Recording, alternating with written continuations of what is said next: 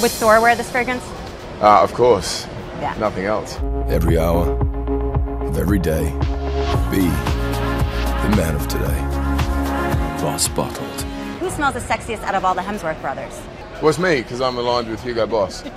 of course. The others, you know, I don't know what they're into. No, yeah, definitely not cologne, guys. No. Not cologne, okay, so you're yeah. the, you you smell the best. I smell the best. I do now, not in the past, but Yeah. thanks to Hugo Boss.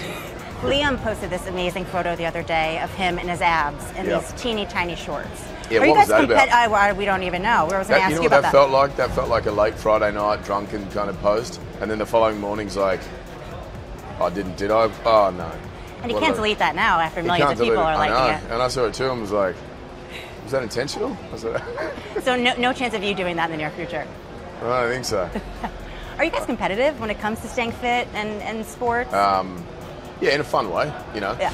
People try and pair us off as like there's this vicious kind of tension and competitiveness, and oh, you got that part and I didn't and stuff, which is not the case. I mean, get us at home playing cricket or football or surfing or something, and yeah, there's there's a great rivalry there, Oh, very sure. healthy one. A lot but, um, fun, playful. Not in, not with work.